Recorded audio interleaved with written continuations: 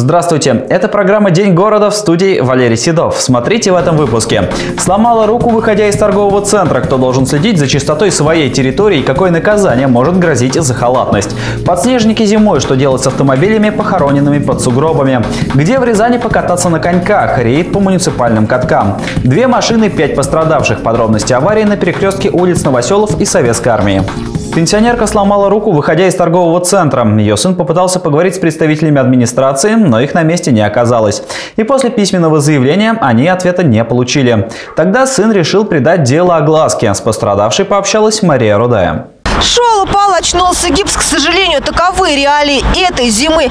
Весь город как будто проходит квест-игру.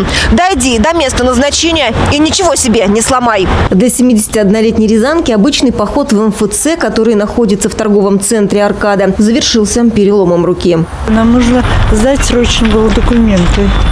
Мы лестницу наступи, по лестнице прошли, и сын говорит, мам, стой, он меня вел за руки, короче, очень скользко было. И я только вот два шага, он пошел, думаю, я сейчас попробую. И я сразу падаю навзничь, прям вот на, на спину. И он увидел, быстренько меня поднял, но я уже чувствую, что у меня с рукой плохо. Помимо руки, Валентина Павловна сильно ударилась головой. Говорит, хорошо, что рядом был сын Владимир, который сразу обратился за помощью к охранникам. По словам Владимира, на просьбу дать номер телефона администрации ему отказали. С утра приехал, тоже никого не было. Потом приехал в понедельник. И э, э, пытался застать, у них недалеко здесь вот отдельный такой офис администрации. Я туда зашел, попросил э, пригласить охранника администрации. Мне отказали, говорит, никого на месте нет.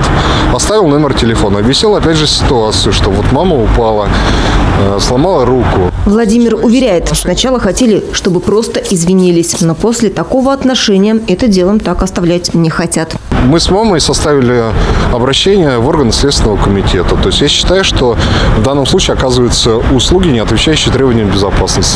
То есть услуги здесь по сдаче в аренду, посетители подвергаются опасности. К нашему приезду на территории торгового центра «Аркада» уже посыпали реагентами. Дорожки были почищены. Вообще правила строго регламентируют, кто и где должен убирать территорию. Здесь ответственность несут собственники. Ну, в соответствии с правилом благоустройства собственник обязан убирать э, территорию, которую он имеет в собственности, от снега, наледи в зимний период.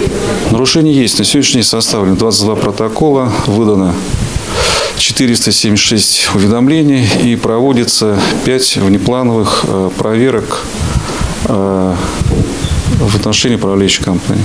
Нарушителям грозит штраф, размер которого варьируется в зависимости от того, кто нарушил правила. Например, для физического лица он не превысит 5000 рублей. Для должностного составит порядка 30 тысяч. А вот юридическое лицо, которое ненадлежащим образом убирает снег и налить на своей территории, заплатит 200 тысяч рублей. Мария Руда и Сергей Данилин, Станислав Кудряшов, телекомпания «Город». К весне распускаются не только цветы, но и так называемые подснежники – автомобили, которые похоронены под слоем снега. Что стало с их прежними хозяевами, неизвестно. Однако теперь машины просто стоят мертвым грузом во дворе и мешают проезду. И такие есть практически в каждом дворе. Как правило, это старые автомобили, которым не нашлось места в гараже, поэтому хранить их люди предпочитают прямо во дворе. Ни денег, ни документов для этого не нужно, а дискомфорт окружающих водителей предпочитают не замечать. Не мешать, потому что и так сложная обстановка с парковкой. Ясное дело. Особенно старый фонд, если дома. Там вообще сложно сейчас. Администрация поясняет, что подснежники делятся на два типа. К первому относятся те автомобили, которые не на ходу. Например, у них нет колес, дворников, регистрационных номеров, лобового стекла, разбиты фары и многое другое. То есть это машины, которые не могут прямо сейчас поехать по дорогам города. На них управа есть. Территориальное управление префектуры районов размещают на этом кузове предписание о необходимости добровольного демонтажа данного кузова.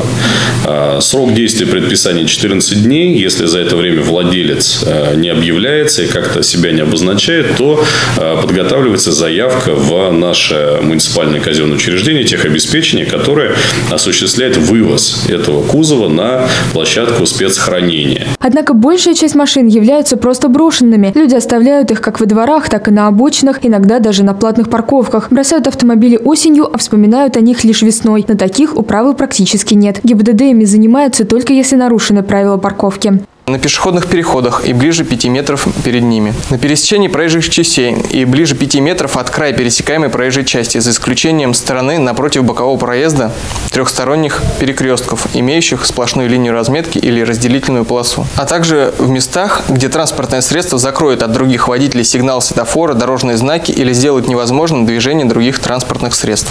То есть сейчас получается, что проблема есть, а законодательной базы для ее решения нет, как и самого понятия «брошенный автомобиль». 23 января пройдут публичные слушания нового проекта правил благоустройства города, который попробует прояснить ситуацию. Требуется постановление отдельное, основанное и на федеральных законах, и на вот тех, то есть и на региональном, потому что э, правила благоустройства э, и вот эти вот статьи, э, то есть это статья 6.3 областного закона о административных правонарушениях, то есть здесь задействованы нормы и федеральные, и региональные. А пока депутаты городской думы предлагают ввести понятие «чистый четверг» – день, когда люди осознанно будут убирать с обочины свои автомобили. Это позволит качественнее очищать город от снега. Было бы очень удобно, на самом деле, потому что многие даже платные э, парковки, они не, не всегда э, достойно очищены. Да, было бы удобно. Если вообще, в принципе, это было бы, например, в четные дни там у него машины не ставят какие-то нечетные, и, соответственно, служебные эти городские службы в это подстраивались и убирали бы. Я так думаю, что город был бы вообще просто бы чистый. Чтобы ускорить появление чистого четверга, на заседании Комитета по ЖКХ и развитию городской инфраструктуры предложили создать межведомственный штаб, куда войдут представители ГИБДД, городских префектур, служб эвакуации автомобильной техники и средств массовой информации. Галина Кудряшова, Станислав Кудряшов, телекомпания «Город». Мэрия пообещала очистить городские катки от снега. Об этом сообщили на странице губернатора Николая Любимова в социальных сетях. Такое обещание глава региона опубликовал после жалоб Рязанки на том, что катки на Лыбецком бульваре и площади Победы не убирают. Наша съемочная группа выяснила, как выполняются указания администрации. Первой точкой рейда стал бесплатный каток в лесопарке. Здесь наша съемочная группа застала дворника в процессе уборки. Как часто убирается? Каждое утро. Почему каждое утро? Почему так часто? А, чтобы людям приятно было сам кататься. Александр рассказал, что ежедневная уборка у него занимает по 2-3 часа. Мужчина также отметил, что сам приступает к работе пораньше, чтобы люди как можно скорее могли выйти на лед. Сотрудники лесопарка рассказали, что раньше лед здесь и правда был в, мягко говоря, удовлетворительном состоянии. Потом за ним стали куда лучше ухаживать, и теперь он выглядит подобающе. Этот каток находится в ведении нашего учреждения муниципального, и мы совместно с дирекцией благоустройства города его регулярно и подзаливаем, и убираем, потому что это в наших интересах сделать действительно отдых рязанцев э, доступным и комфортным. Следующий городской каток, к которому направилась наша съемочная группа, находился на площади Победы. Как раз на него жаловались рязанцы, мол, каток не чистит от снега, хотя находится он в центре города и пользуется большой популярностью. Сам каток на площади Победы в хорошем состоянии, от снега он убран, вот только ледовое покрытие оставляет желать лучшего.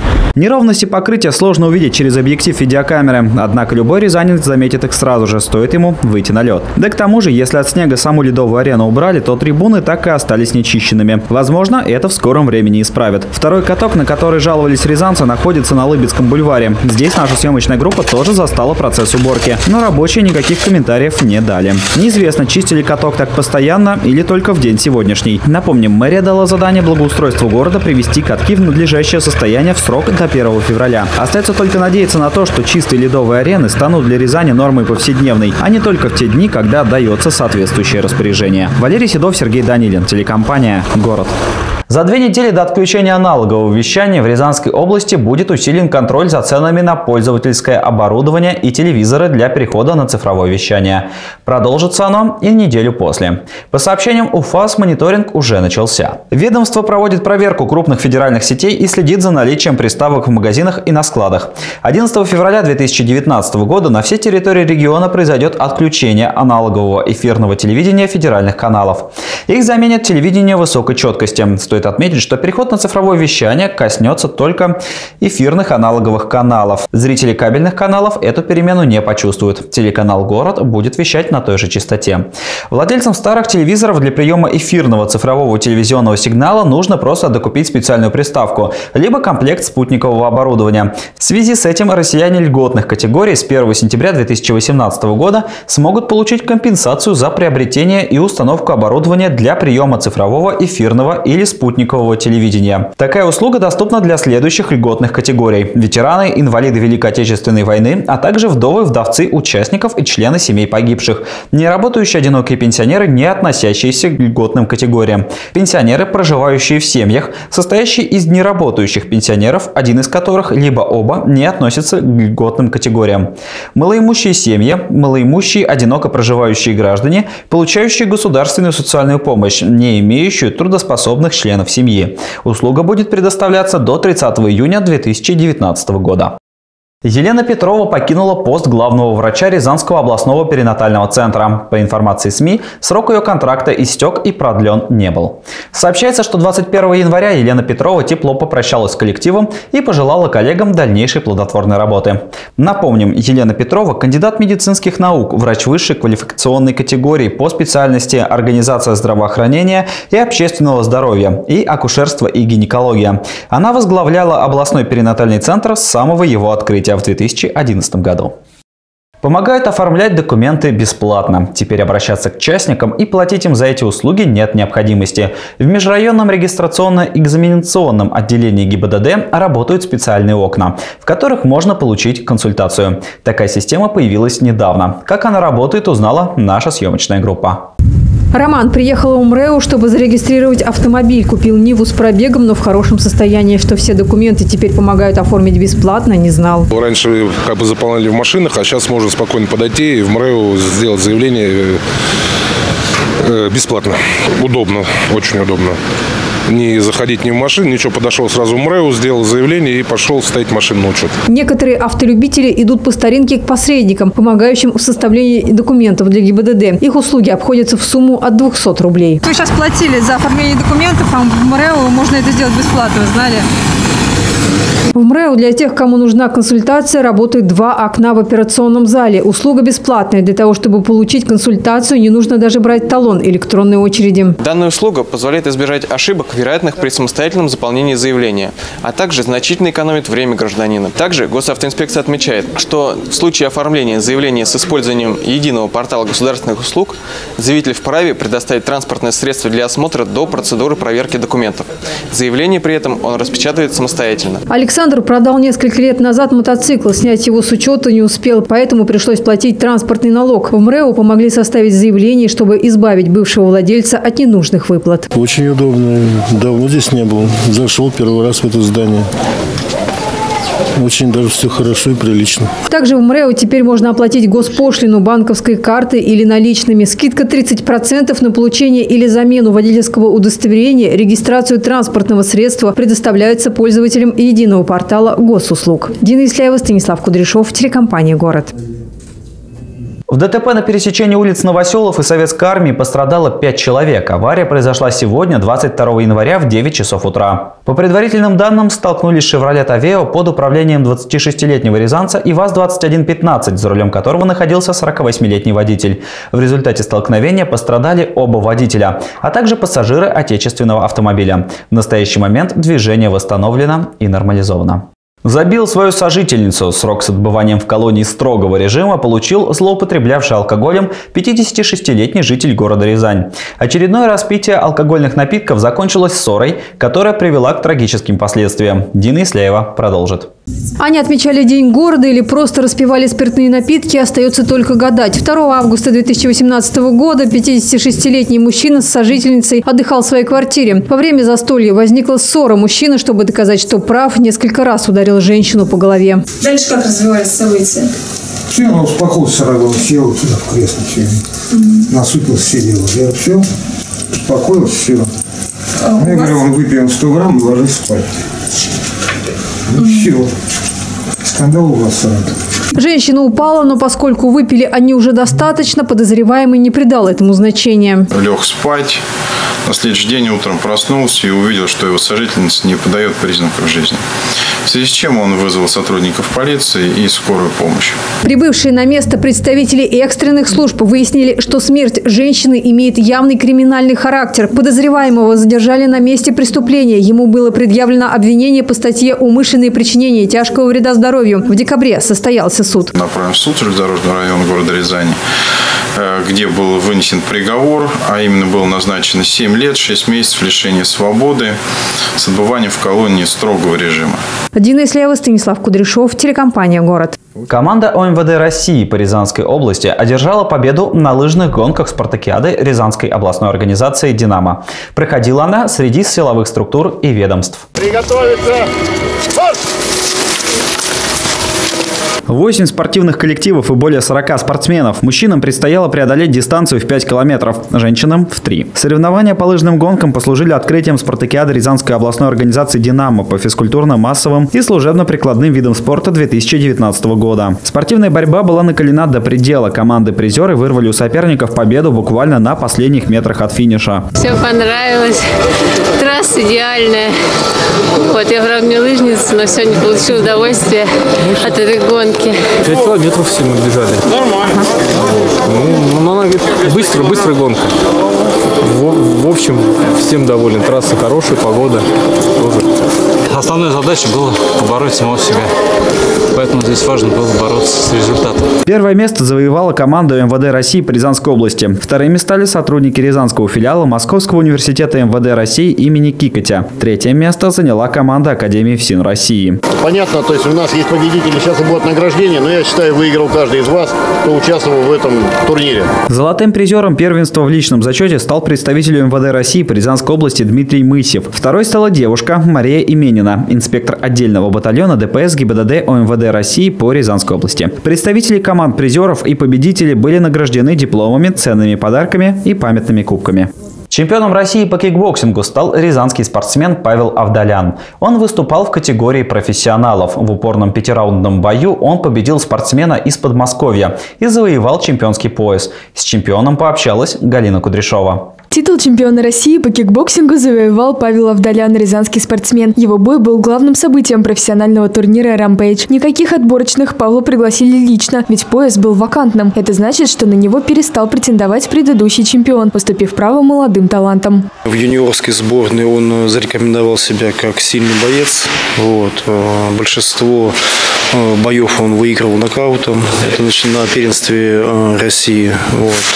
И он был победителем первенства мира, победителем первенства Европы. У нас один из таких титулованных спортсменов нашего вида спорта кикбоксинга. Со своим соперником из Подмосковья Павел уже встречался и тоже победил. В этот раз матч длился 5 раундов по 3 минуты. Боксировали без защиты на голову и ноги, ведь Павел выступал в категории профессионалы. На тренировках оттачивал коронные приемы и изучал слабости соперника. Слабую сторону, можно сказать, это как раз у него и нога, потому что мало он защищался от этого удара, лоу-кик. Вот. Очень много это пропускал. Вот руки были иногда не на месте. Вот. Так что этим я и пользовался. Это седьмой профессиональный бой Павла. Болеть за него на турнир приехали друзья и родственники, а подопечные смотрели матч в прямом эфире. Павел – детский тренер спортшколы «Золотые купола». Ведет сразу несколько групп. Опять начинаем